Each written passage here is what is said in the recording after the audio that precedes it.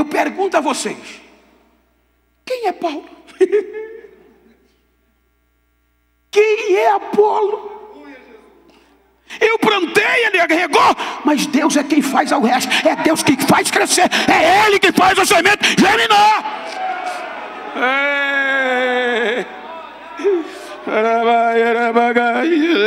Só nada não, gente.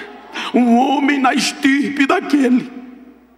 Um homem com o conhecimento que ele adquiriu e o respeito, ele diz: Eu abri mão de tudo porque eu podia usar isso, mas quando eu cheguei para pregar este evangelho em vocês, eu não usei o meu conhecimento nem filosofia humana, mas eu preguei o evangelho de poder, eu preguei Cristo e Cristo crucificado e ressuscitado.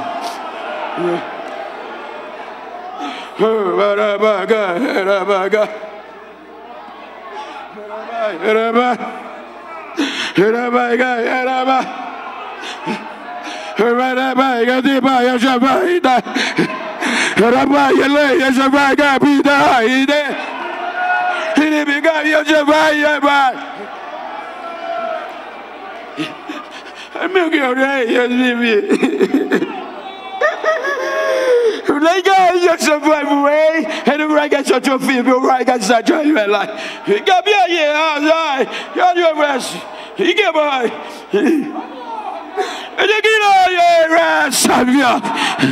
Estou eu falando dentro de corações de mente nesta noite.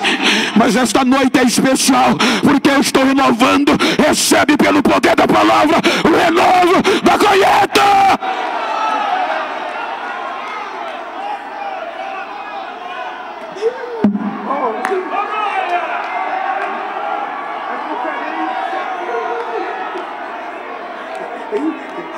É conferência.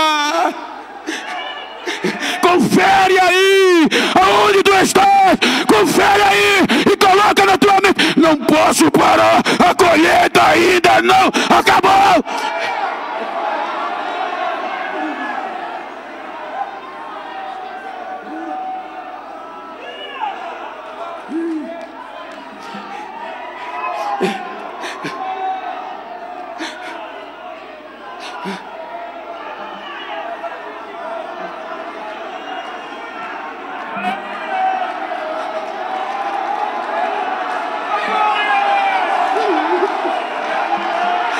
Fomos chamados para colher aonde não semeamos. É muito privilégio, porque na colheita tanto recompensa vem para nós e alegria para quem semeou, alegria para quem semeou. Por isso que quando a alma se salva, a alegria lá em cima e a recompensa para nós.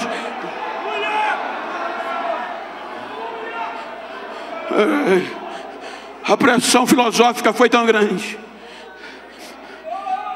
que arrancaram o ânimo da igreja de Corinto.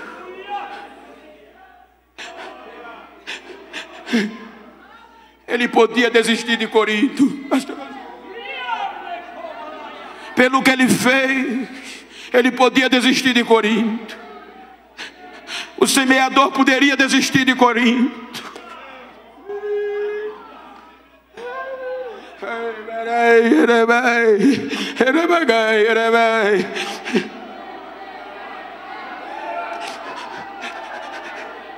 Mas ele não desiste. Ele vai desfazendo toda a pressão da filosofia romana, que já tinham arrancado da mente dos irmãos até o poder da ressurreição, do arrebatamento. A questão de Epícoros e de Zenon já tinha arrancado da mente dos irmãos e colocado a arte da, vive, da vivência sem liberalidade, mas viveu o máximo de prazer na terra, porque não havia mais vida após a morte. Ele poderia desistir depois de tudo que fez. Ele mesmo diz: Eu não, não ganhei um centavo de vocês. Eu trabalhei com a própria mão, as próprias mãos.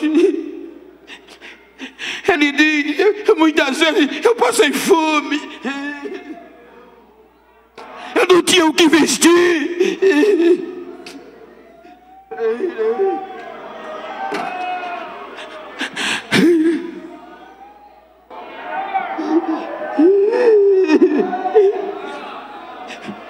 Me ajuda a continuar, Jesus.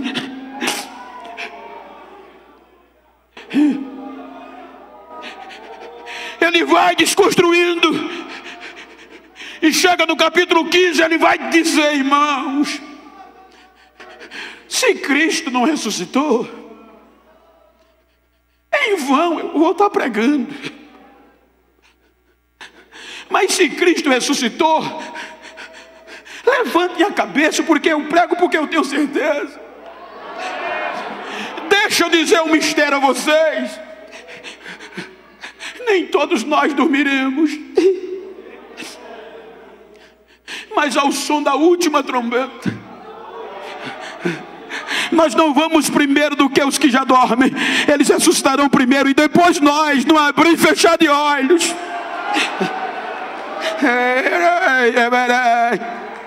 E seremos transformados e levados aos céus, nos encontraremos com eles nas nuvens e subiremos. E estaremos para sempre com o Senhor. Aí, irmãos, olha o que, é que ele diz: vai, aconteceu o que está escrito, tragada foi a morte na vitória. Aí ele dá uma brecha para motivar os irmãos que nós vamos subir cantando, tirando onda da morte e do inferno. Ele diz: Eu vou, isso aqui é um pensamento meu. Ele diz: Então vai cumprir o que está escrito. Então implica dizer que vai ser tão rápido, mas ainda vai tirar tempo, dá tempo para a gente tirar um desaforo com a morte e com o inferno. Ele diz aí: Nós vamos subir cantando. Onde está a morte? A tu, teu aguilhão. Onde está inferno, a tua vitória? Mas graças a Deus, ele diz: O aguilhão da morte é o pecado e a força do pecado é a lei. Mas graças a Deus por Jesus Cristo que nos deu vitória. Portanto, meus amados irmãos, sejam firmes e inabaláveis na obra do Senhor, sabendo que há uma recompensa, há uma recompensa.